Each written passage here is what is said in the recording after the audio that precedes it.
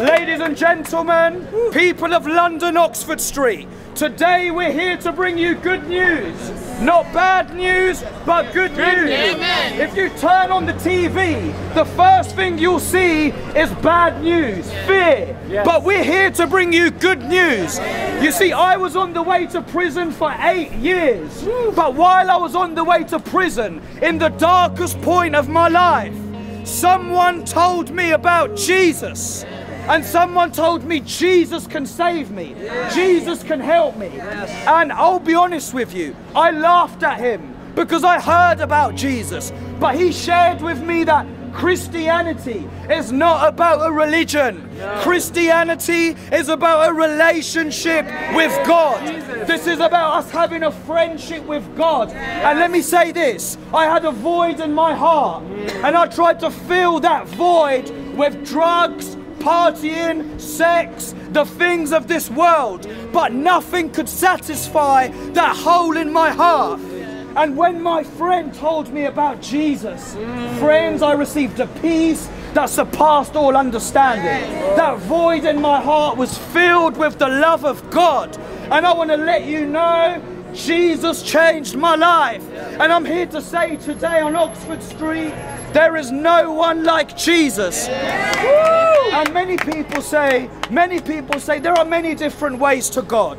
Many roads will lead to the same destination. I want to let you know there is only one way. If you want to phone my telephone number, you can't phone me from five different telephone numbers. It's only through one unique number that you get access to my phone. And Jesus said in John 14 6, He said, I am the way, I am the truth, I am the life. And no man, no man, black, white, Polish, Asian, no man comes to the Father except through Jesus. I want to let you know, friends, that the coronavirus, if you want to be protected from it, Jesus can protect you. Hallelujah. I'm letting you know today, Jesus is alive. He changed my life when I was 20 years old. And I want to let you know it's not about religion. No. It's about relationship with God. And there are people here, and you might be looking around and listening.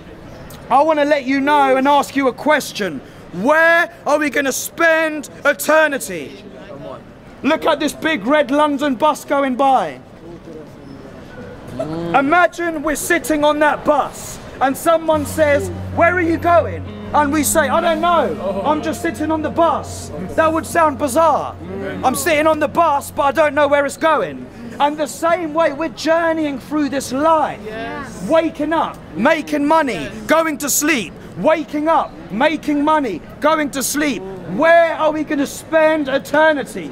And we're here to bring you good news. Not bad news, but good, news. If you turn on the BBC, you'll see bad news. We're here to bring you good news. That Jesus is alive. That Jesus can wash you. That the blood of Jesus has power. And we cleanse the UK with the blood of Jesus. We cover the UK with the blood of Jesus. I declare the blood of Jesus is stronger than the coronavirus. The blood of Jesus is stronger than the power of hell. The blood of Jesus is stronger. And there may be people and you don't know your destination, but you want to know. You want to be sure. I want to let you know there's two ways heaven or hell. And this life is short.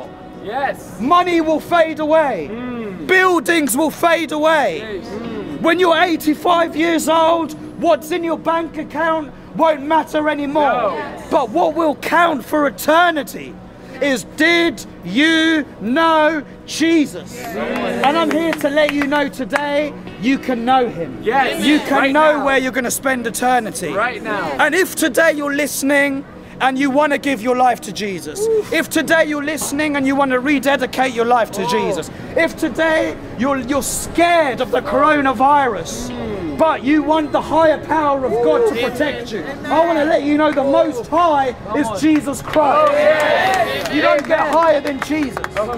And if you want to accept Jesus into your heart today, I want you to lift up your hand wherever you are, and I'm going to include you into a prayer. Just lift up your hand. Just lift up your hand.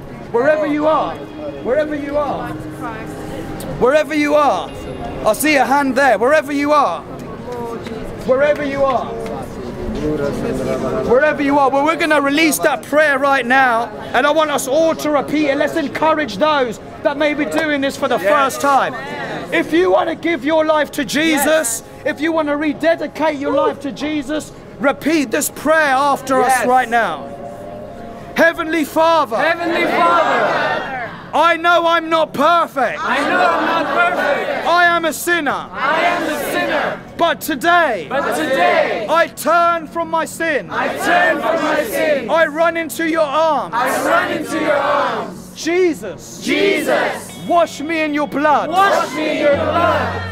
Fill me with your spirit. Fill me with your Holy Spirit. Today, Today, I turn from my sin I turn from my sin. and I say, Jesus, I say, Jesus, I declare with my mouth, I declare with my mouth, I believe in my heart I believe in my heart that Jesus is Lord. that Jesus is Lord. Jesus is Lord over my life. Jesus is Lord over my life. Jesus is Lord over the United Kingdom. Jesus is Lord over the United Kingdom. Jesus is Lord over the church. Jesus is Lord over the church. And all God's people said, Amen.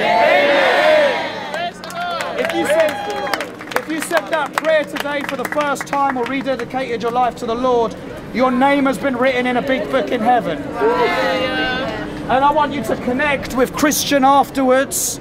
Here with the hoodie on. If you've given your life to Jesus for the first time today, you come and see Christian. It's just, it's the beginning of your journey. Hallelujah. Hallelujah. Glory to God.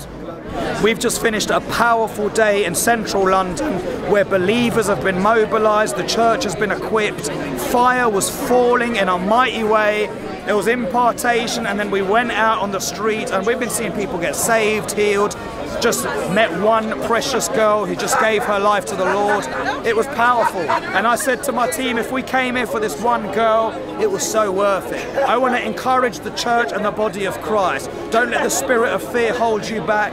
Don't let coronavirus scare you. The fire of the Holy Spirit is stronger. The blood of Jesus is stronger. The church is being equipped, and we're ready to see the gospel shake the nation in the darkest of hours. God bless you.